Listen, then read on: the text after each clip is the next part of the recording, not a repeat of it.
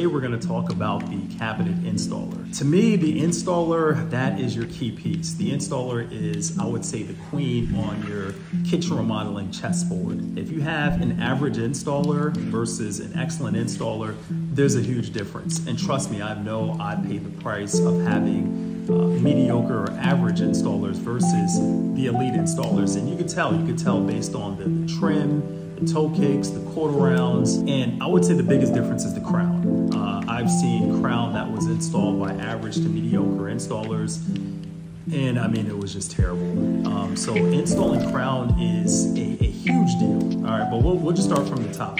So the first thing that your installer will help you is they will check the measurements that the cabinet company uh, actually, they, they will probably send someone out or if you did the measurements yourself.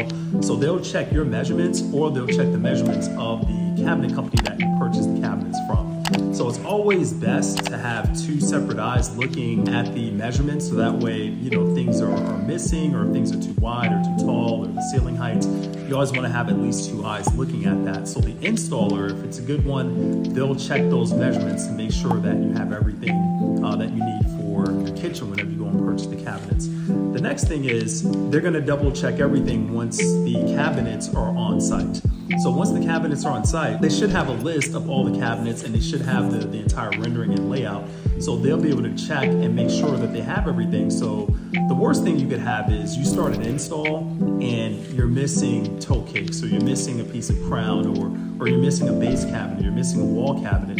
It's the worst thing that could happen. So a good installer, they're gonna make sure that you have everything on site because I've had situations where I purchased cabinets from out of state and it's taken me weeks to get those cabinets. So if you're missing, you know, any amount of cabinets or trim, I mean, it may take weeks again to get the, the other pantry or the other wall cabinet, the other base cabinet, or whatever trim that you need. And what if they have delays? What if they're behind? So now you have a kitchen that's half complete and you're waiting for them to make that other delivery from out of state. It could take days, could take take weeks. I've heard sometimes it could take months. Uh, you have some of these cabinet companies that are being delivered from Germany, from overseas, from Vietnam, from Asia. So you're always going to have those issues of delays. So having the right carpenter or the right installer to double check all the measurements so before the order is placed, you already have everything that's coming to you correct. And then also whenever it gets there, they should be able to have a checklist and go over all the items before they even start the install. So that's number one. The next thing is uh, a good installer, they're going to be able to assemble the cabinets correctly. I've assembled cabinets myself. I assembled boxes. I'm not great. I'm not, I'm not the expert at this. And so there are like little nuances that you could tell. So if you have someone that's installing the cabinets, good ones, they'll make sure that all of the boxes are butted up against each other. They're connected, they're screwed together. Uh, they're gonna make sure everything's level. So another telltale sign is a good installer, they're gonna have a laser level. So whenever they bring in the laser level, they're making sure everything is even on, you know, pretty much on your entire wall. And if it's not even, it could be an issue with the floor. So they may have to add fillers or they may have to add some spacers to, to kind of raise those cabinets up and they can hide that. So a really good installer will make sure that the cabinets are level up against the wall. There's nothing worse than someone installing, basing it off of what's currently there and not making sure that the cabinets are level. The next thing is they're also gonna make sure that everything is square. I've had this issue before where doors got delivered, they weren't squared, or the cabinets weren't completely squared, and it could throw off some of the design. Whenever the countertop company comes in to install the countertops, they may have an issue putting the countertops on top of the cabinets because they're not completely squared, they're not completely flat because they didn't use a leveler and they did not um, level the, the cabinets before they installed the countertop. So that's another thing that you want to look at, making sure that everything's connected. Next is, I would say the trim. The trim is huge. So whenever we're talking about trim, we're talking about the toe kicks, we're talking about the baseboards, we're talking about the scribe molding, we're talking about the quarter rounds, and of course we're talking about the crown molding. The crown molding is huge, but we'll get to that in a second. So whenever they're connecting, typically uh, a panel or any type of trim, the tallest is, or longest gonna be is 96 inches. So the good uh, installers, they'll be able to hide those gaps where let's, you know, the tall, again, it's only gonna be 96 inches. So if you have a set of cabinets that are 110, 120 inches, of course there's gonna be a seam somewhere, but the good ones are great at hiding those seams. Also, whenever you put the toe kicks in, the good ones, they're great at concealing the nail holes. Obviously, you gotta, you know, drive a nail through the quarter rounds in order to secure it to the cabinets or secure it to the floor. The good ones, they're able to hide those nails. A lot of times they'll use putty, they'll use the touch-up paint, and uh, they'll have it completely paint ready. The mediocre installers, they'll tell, hey, go send your painters out there. Go send the painters and they'll touch it up.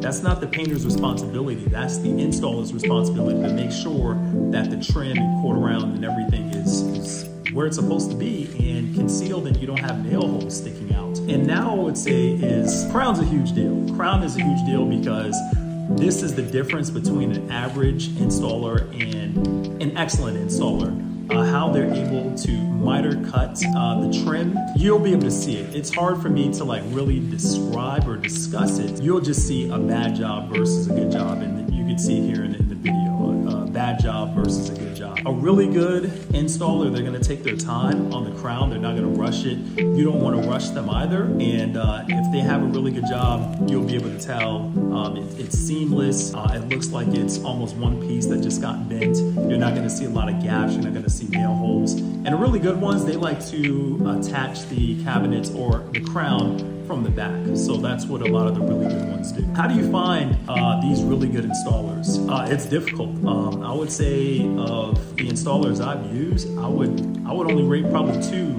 that are a 10. Whenever you use a media, mediocre installer, you have to spend a lot more money because now you gotta buy more crown because they messed up the crown. You probably have to buy more uh, fillers, quarter rounds, different types of trim because they probably miscalculated. So now you're paying more trip fees. So now you're paying someone to, you know, go back to the shop or go back to the uh, manufacturing office and deliver uh, more trim. So now your delivery costs go up. Also, your delays go up because now you're thinking that you're gonna be able to wrap this job up. You already have the template scheduled. Now you gotta push back the template a week or two because the cabinets aren't done. I've had a situation where uh, we had to go back in and take down all the crown just because the crown was just done so so poorly. And it was my fault. Uh, I should have sat on the project until he was done. Contractor, he's like, the installer said, hey, we're, we're, we're done. We just got to add some crown on this side. And I was like, he was like, yeah, we'll fix it. And I was like, okay, I guess he'll fix it. And he sent me the pictures and then the client sent me the pictures and I was like, yeah, it doesn't look great, but it doesn't look too bad. It was terrible. I went out to the client's house because uh, they, they were very upset. So I went out to the client's house. I'm like, let me go see what's going on. And there were huge gaps. There were huge gaps in between the crown and the cabinet box. Uh, whereas mitered cut, you could see the nails kind of piecing out.